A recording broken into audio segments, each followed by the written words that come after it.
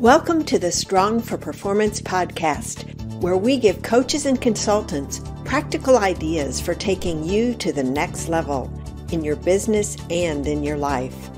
I'm your host, Meredith Bell.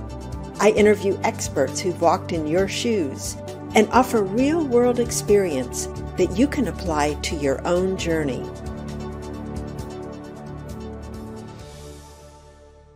Welcome to another episode of the Strong for Performance podcast. I'm your host, Meredith Bell, and I'm so excited today to have with me Katie Bishop. Katie, welcome to my show. Oh, Meredith, thank you so much for having me today. Well, like so many people that I've had on my program, Katie and I met on LinkedIn. And I am so glad that we did because she has such an interesting background, and I'm excited to talk to her about something I haven't discussed really in conversations with anyone else, Katie. Uh, but before we reveal what that's going to be, let me give listeners a little bit of an introduction. Katie is the author with her father of a new book called The Best Seller. And what's interesting is, is Katie herself is not the expert in sales, her dad is. So this was an interesting collaboration. Um, Katie is in the uh, life sciences sales underwriting business, and she provides comprehensive insurance coverage for, for clinical trials and medical device industry. Uh, she's been in various sales roles throughout her life, and I think it's safe to say, Katie, you feel like you're still a student and still learning all the time, yes, right? Absolutely. And her passion now is helping young adults navigate their careers and especially helping them build strong relationships. And I love that, of course, because Katie, I'm very focused on building long term relationships uh, with both our clients and anyone in my network. And so, what we want to explore today, and that I think is going to be very uh, educational and very intriguing for all my listeners, is we want to talk about the journey that Katie and her father went through over the course of five years creating this book because it's fascinating and I think there are so many takeaways related to this whole idea of relationship building within a family right. in your case but also you know friends professional relationships. There are so many applications of what the two of you worked through and dealt with in your process that i think are relevant to anyone who must work with others, which is all of us, right? Mm-hmm. We live with other people or we work with other people. And so I'm I just think this is going to be a fascinating discussion. So thank you again for joining me, Katie. Absolutely. Thank you, Meredith. So, what I want to start out with is a question that gets us some context. Oh, and here is Katie's new book, The Best Seller. And what I want to do is get you to describe for us the initial phase of what caused you and your father to decide to write this book in the first place. It's a perfect question. And to answer it, I'll go back to the beginning, which was many years ago. I received some LinkedIn messages from some acquaintances in Iowa. I'm I live in Colorado now. And they asked me, hey, what can I give to your father as a thank you for him teaching me his curriculum? Now, I know that my dad has been a mentor to so many throughout his entire life, but this was the first mention of any sort of curriculum. And I thought, I have no idea what they're talking about. And this is my dad. I need to know this. So I called my dad and I asked him, Hey, what i hear that you've developed some curriculum for with your mentors or with your mentees those you're mentoring. I said what's what's going on with that? He said well actually to tell you the truth we're going to write a book. I said and i wish my first thought was joy for my dad in writing a book. But to be totally honest i my first thought was he's writing a book and he's writing it without me because he knew I'd written a few children's books and I'd shared that with my parents and I love writing and so for him to write a book, I knew that he wasn't going to do it by himself. He's a very strong auditory learner, but not necessarily a very strong reader or writer. And so I thought, okay, well, who are you writing this book with? And he said, oh, two young guys that I mentor. And I became a little jealous because I thought, well, am I not good enough to write this book with you? I didn't say that, but that's just, you know, the thought that came across. Sure. And so instead of saying that, I said, Oh, well, how did that come to be? And he said, Well, I was mentoring these two young men, and they said, You know, Doug, you need to write a book. This is really, really good stuff. And he said, Well, I'm not going to write a book. Why don't you write the book with me? And so that's how they started this process. And after I learned that, I sat back and I said, You know what? Great for them because that kickstarted my dad to start to truly work on what he was teaching and develop this curriculum. And I thought, you know, this was a great idea that these two um, mentees that my dad had spurred on him to action. And um, so I said, Oh, that is, you know what? That is great. I'm so glad you're doing that. Keep me updated. I'd love to hear. I also want to know what this curriculum is because I don't think I've heard it. and I'm your daughter, so I feel like I might want to know. so that's how it started. But then it was about six months later, and I checked in, and he said, You know what, Katie? The guys said that I we're at a stopping place, and now I need to hire a writer. And they said it's going to cost X thousands of dollars. And I thought, you know what? I know you love to write. Do you want to take a crack at this? And I said, yes. I've been waiting for you to ask. I would love to do that. Send me what you have. And so they sent me what they had, and it was two and a half pages of bullet points. And I said, well, well, where's the rest of it? You guys have been working on this for about six or seven months. And he said, no, that's it. And I said, okay, well, you know what? This is a start. So we'll start with this. And that was the beginning of what, uh, of the writing process with my dad. And so from there, we had multiple, well, weekly, if not two or three times a week, phone calls, conference calls together to just kind of gather all of the information and start the wheels turning on what could this book be well, what I love about the book, let me just interject this here, is that while you call it fiction, it is based on real characters. And so it's highly believable and it's very relatable what those characters experience. You know, we've been there, especially mm-hmm. the, the lead person, Mackenzie, who is uh, learning how to be a good salesperson. So anyone in business, whether they have the official role of salesperson or uh, own a business and need to make sure they do business development, this book to me is just phenomenal. And and so the end product it to me is another conversation. We'll have an interview and go deeper about some of the principles that are taught there, the steps and the rules.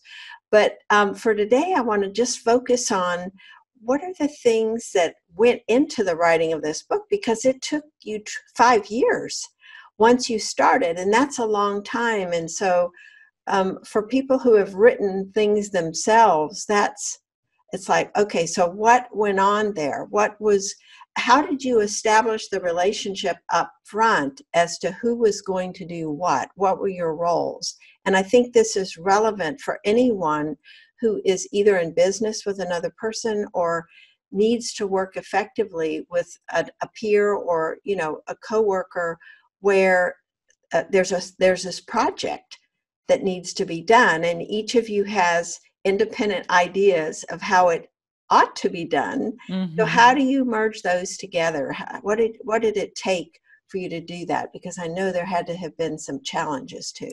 There were definitely some challenges.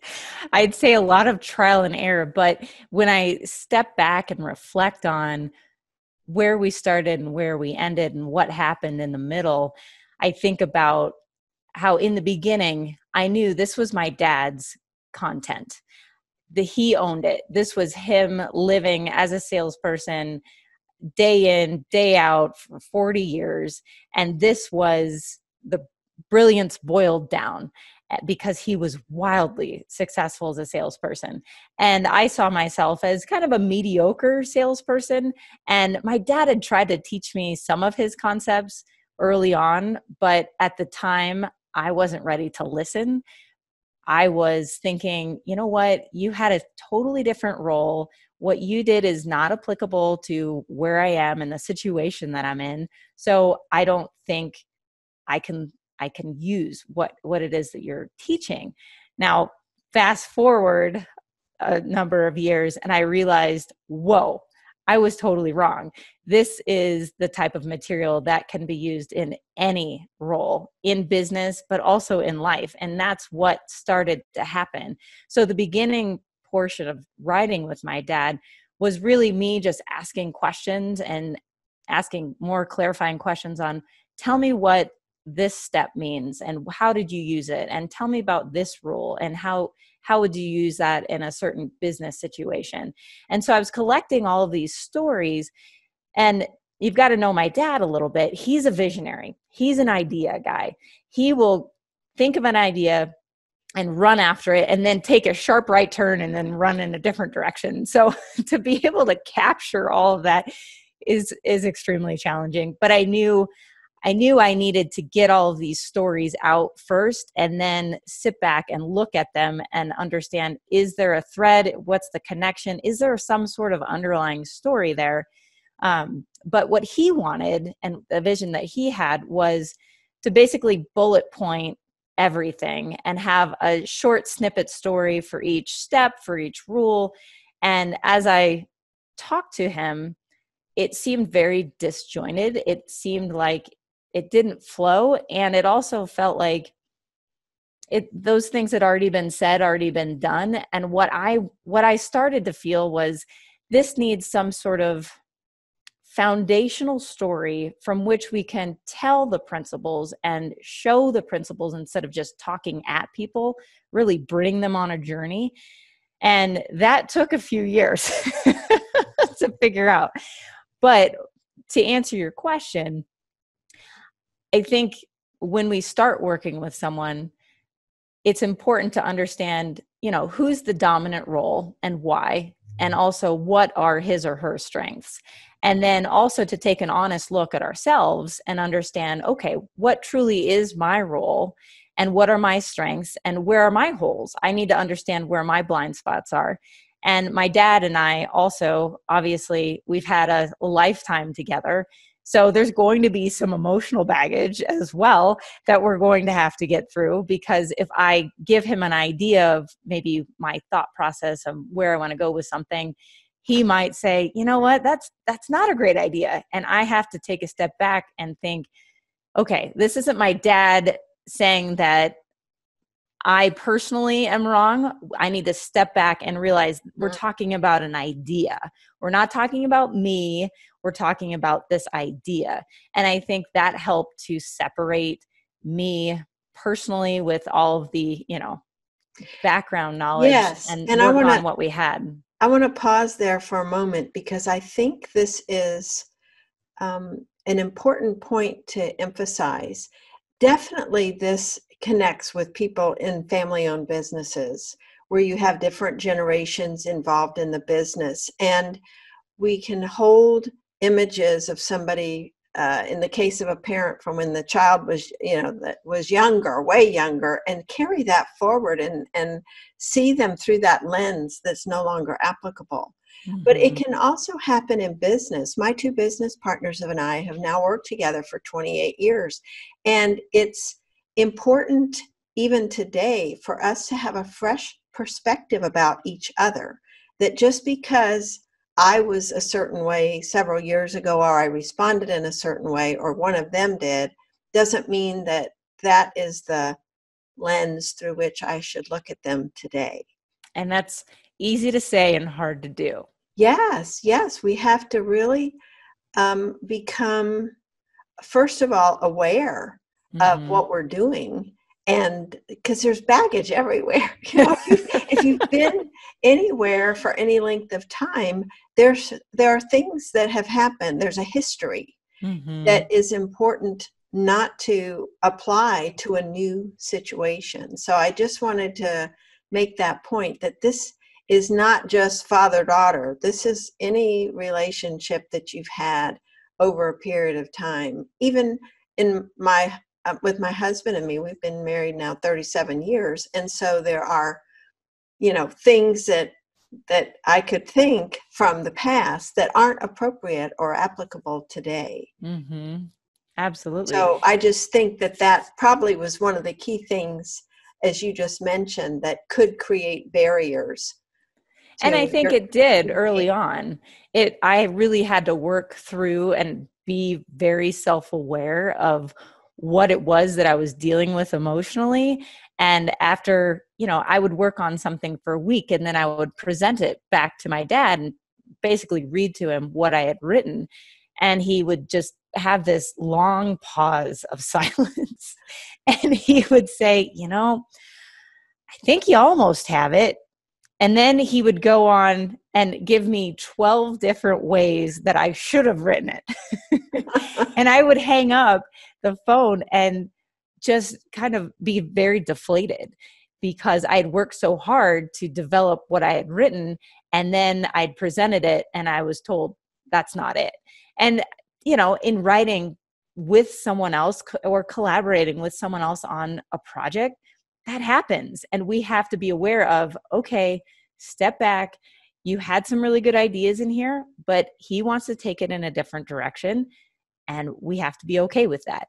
But also, in doing that, I had to realize what it was in the writing that I felt was non negotiable. I thought, you know what, this key point is important for these reasons. And I needed to communicate that to my dad and say, okay, I understand that you want to take it in a different direction, but this is why I have it this way. And I think it's really important. And this is why. So it was a lot of, um, I think, internal work as mm-hmm. well to work with him. Um, I think, as you said before, sometimes we have this lens of this is who he was, and so this is who he is now. Some of that still is true. I do know that my dad is a great starter of projects, but not necessarily a great finisher of projects and i do know that about myself as well i i can start an idea get excited about an idea but then the actual follow through is hard for me to really hit that finish line well. So I had to understand okay, I have to push through what I'm not good at here, my weakness, because my dad's also weak in that area. So I've got to step it up and and really push myself here. So I think it's good to we it's that weird balance of I know who he is, but I can't attack him for what he is. I need to understand he's got a lot of wisdom to bring to the table and a lot of great ideas. And I know that together we're going to create something better than if I was writing this alone or if he was working on this project alone. And there were many times where we just kind of came to loggerheads and would just take a break, an extended break. And then he would come back and say, okay, Katie, I think what we have to do is figure out why, revisit the reason why we're doing this. Why do you did you say yes to this project? And I want to tell you why I want to do this project. And what we found was we had the same goal. He mentors a lot of people, I mentor a lot of people. What we wanted to create was something that could help that next generation in learning those classic skills of building relationships when right now it seems like we rely too much on technology to build our relationships for us mm-hmm. but what we don't understand is there's this foundational piece of the personal to personal interaction that is fundamental to all relationships and so when we came back to we want to help the next generation to learn these classic skills we had that goal and we could focus on that goal instead of you know attacking one another's ideas. Yeah. Well you know you mentioned something that i think is really important. When we have a relationship with someone where we perceive them to be either in a position of authority over us or in some way, you know, the expert or better than uh, or elevate them in some way, then we can fall into deferring and and going along with instead of speaking up and standing our ground for what is important to us. And I want to acknowledge you for growing yourself to the point where you saw the importance of doing that because you ended up with a better product in your book mm-hmm. by I won't say pushing back so much, but standing up for what you felt was a better way to approach, you know, maybe a scene or a chapter that led to it being more effective overall because if you had taken the route of well he's the expert he knows i'll do go along your energy would have been impacted. Your joy in the product pro, i think project would have been affected. And um, you probably felt a lot better about yourself when you started really speaking up for your points and and dealt more as equals mm-hmm. and i think that's a challenging balance as well because I do want to honor his curriculum. He's the one that put it together. And here I am wrapping a story around it. So I do want to honor what he's done, but yet I want to create a story that's relatable and accessible to the people that we supposedly are writing this for. And so I needed to understand how to communicate that to him without um, really offending. And I think that is that's tricky um, be, with anyone. And mm. with my dad, you know, we can we can elevate and discuss heatedly certain things and know that you know what we're still going to be father daughter at the end of the day whereas in other projects some people might think oh no our relationship is going to fracture so i think i had some cushion there also of mm. but and as we started to work with one another and i think he started to respect a little bit more of what I wanted to bring to the table, we were able to really hash out certain things and just get into it and have a really good time and laugh about it right after we had a heated discussion. So it um, it became something that we both got really passionate about and we recognized okay we're talking about the book not about each other we're talking about this project we're working on and as we continued to work with each other, we strengthened our relationship and were able to be more candid as the process went along. Mm-hmm. Yeah, that's that's obviously the outcome you want, and I think you're another key point there is not to take it personally. Even it, it, it and that's really hard when you're the one that's done the writing to separate yourself, your writing, from who you are as a person mm-hmm. so that you can listen in a detached way about this information you're receiving. And I think that's so true for many of us. If we've been working hard on something, whether it's something we've written or whatever kind of project it is, and we are looking for at a boy, at a girl, or you know, a positive, and we get whoa comments, feedback that doesn't affirm what we've done. It's so important to detach from that information and, and really think objectively what's useful here and what I'm hearing. Because, and I think it goes back to a point you all make in the book about trust Hmm. When you have this solid foundation of trust and mutual respect, then it's solid and you're not feeling at risk that it's going to get destroyed. And I think that's what you were saying with you and your dad. And I think that's true in a business relationship too. If you have that common um, mutual respect and trust, then you know that the other person is not really trying to put you down or it's it's not about you And I think mm-hmm. that's what we can all struggle with when we put our heart and soul into something and make it about us. Mm-hmm. Absolutely. Spot on. so, what are some things that actually changed about your relationship? I'm assuming for the better when you think about the first year to the fifth year. What, what is, how did it evolve? Great question. I I think it when we strengthen as you said that respect that trust we were able to really be more ourselves i think my dad early in the process was tiptoeing around certain things because uh, like his example or the example of well i think you almost have it but not quite and in reality it was you know he hated it.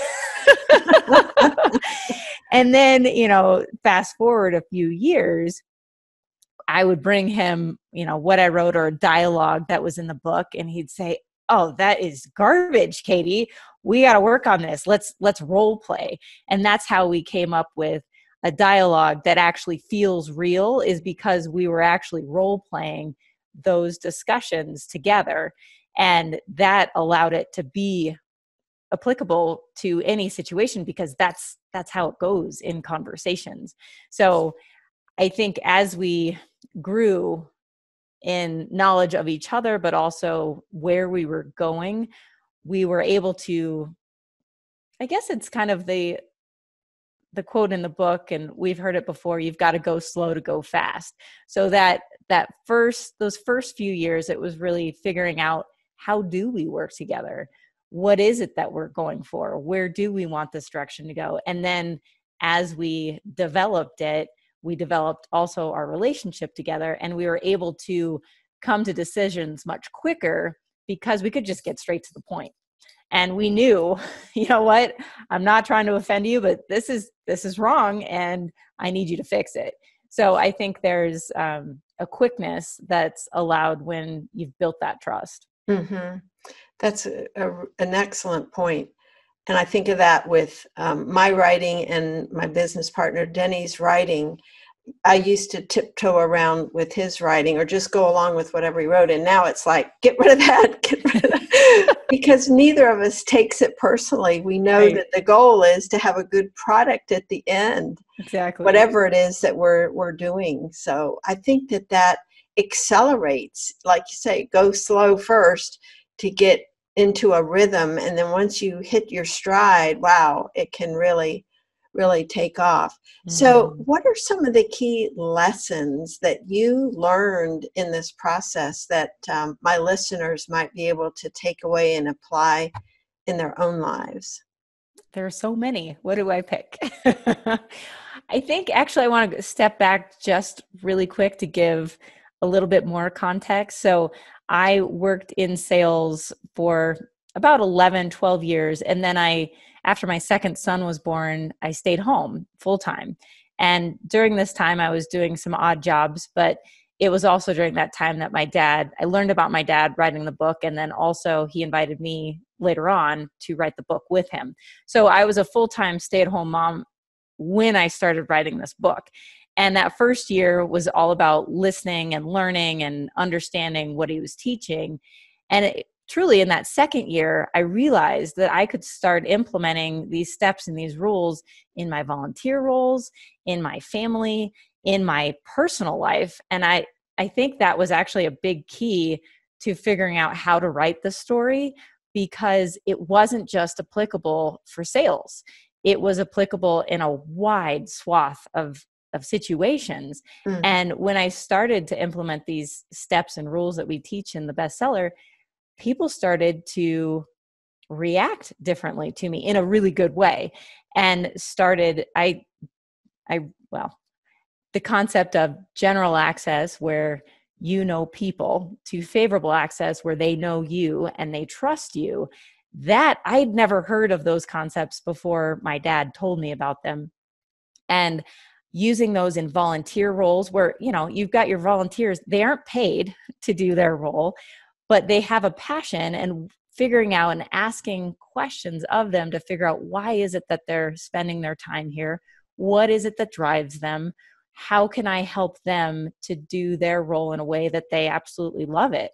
And so i in using that in my personal life i think it strengthened the book and also when i went back to work i used the steps and the rules to get four job offers in three months for a salary way above that I had been paid before after being out of the working world for six years. And it just showed me this these steps these rules when i implement them when i have them forefront in my mind can really open doors to relationships and to opportunities that i had never known i could do before well, you mentioned the one. We'll we'll have to have another conversation to go into some of the steps and rules, but that go slow to go fast. Talk a little bit more about how you were able to apply that and what that did for you. The go I think we all want things to go faster than they actually do in real life. And so having that top of mind, we understand you know, we might just have a meeting in mind and I've got to get my answers in this meeting immediately. And so that's when we go just full bore and we have a bunch of questions and we lead and we control the meeting and we forget that our client across the table from us wants to be listened to, understood, and valued. And so when we take a step back, that go slow, take a step back and really give the control over to our client in by asking the questions of them so that we can be in the posture of listening and making sure they feel heard that that changes the dynamic completely and before i was always go fast and just go fast mm-hmm. and by realizing oh wait I don't have that trust with this person. I have to develop it. And this meeting, it's really about the dialogue to build the trust. It's not about, I want to tell this person everything I know because I want to feel smart and I want them to know that I'm smart. That that changes my perspective completely. Mm-hmm. Absolutely. Well, we're about at our time, but I want to ask you one more question about your dad. What is something about him that you came to appreciate more deeply as you worked with him in this process? I knew he's he's always been passionate and he's always wanted to help others. What I gained from writing this book with him was how deep that passion goes and how he truly wants the best for the other person. And not just seeing it in my relationship with him, but also in talking with others about the stories that he told me. I had to do research and, and talk with them about it. And to hear them talk about my dad in ways of, I just don't know where I'd be without what your dad did for me. I that's part that's priceless. I there's no way that I would have even discovered that had I not asked questions of the people who he had worked with before. And so that was just so special to me. And my guess is it brought the character to life that is sharing the wisdom mm-hmm. um, that he has had. It, it um, the the you were able to go deeper and wider in in that understanding. That's great. I love that. Well, I'm really looking. Is there anything else you want to say about the process and? Well, your story actually, or your question, made me think of one other thing, which was hearing the stories about our loved ones is priceless. And oftentimes, we never go and ask those questions of the people that maybe our parents or our grandparents or even our children who they work with and what they did that meant something to someone else. And those are maybe even the most precious stories because we see our loved ones from one perspective. Mm. But to be able to have the opportunity to ask questions from a totally different perspective that bring forth the wisdom, but also just the level of empathy and emotion and what our loved one means to someone else, I think brings a whole new level of respect for our loved ones. So I just want you to know, share that.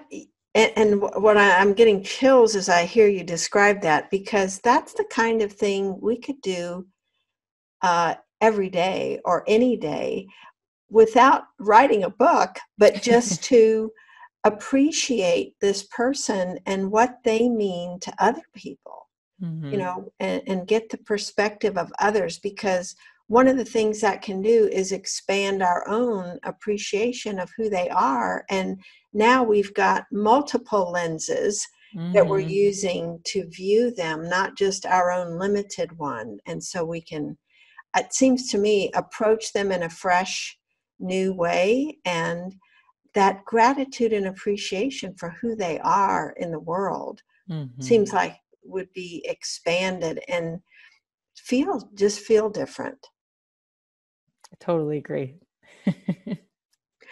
well, Katie, um, tell us uh, more about how people can connect with you because you have um, you've written this book that I believe is going to be very impactful for a lot of people because it is so much about relationship building and how to do it right.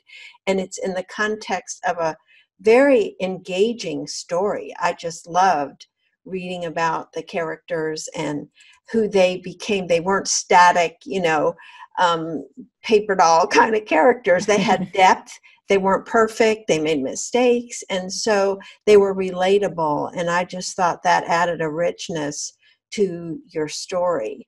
And so I know that folks listening are going to want to learn more about you. Where can they connect with you and learn more about the book? Thanks for asking. Uh, website is www.katiebishop.us, and that's spelled K A T I E Bishop B I S H O P dot US. I call it dot us. So mm-hmm. my dad doesn't have a social media presence, so I'm kind of the face for us. And sure. that's why it's under katiebishop.us. That's and then great. from there, you can actually download a few sample chapters right on the website and that'll give you a taste of what the book is about and i i think everyone will really enjoy reading those chapters and then also want to read the entire book yes and that is march 31st Yes, the book will be, available yes. on Amazon. Yes. So I will be uh, an early review writer because I thank just you. loved it, and it's definitely a five star book. So I oh, thank you, people add that to their um, book list. And um, thank you so much, Katie, for being with me. And also just for the great work you and your dad have done and are doing in the world, mentoring other people and spreading this important um, lessons learned and principles that can be applied, like you said, in any situation, not just sales. Well, Meredith, thank you so much for your time, but more importantly, for your questions, for reading the book, and for asking such good questions and getting to the depth of what's going on behind the scenes. I really appreciate it. Oh, thank you. Well, that's part of my curious nature. I love doing that. And that's why I just enjoy this podcast so much because it allows me to bring on very special people like you who are doing great work in the world and give you um, more exposure to other people. Thank you so much, Meredith. Thank you, Katie. Thanks for tuning in to the Strong for Performance podcast. Now head over to growstrongleaders.com to learn how our tools can increase your impact with clients and expand your business. And while you're there, grab our free ebook, The Five Secrets to Getting Better at Anything. Until next time, I'm Meredith Bell. Make it a great day.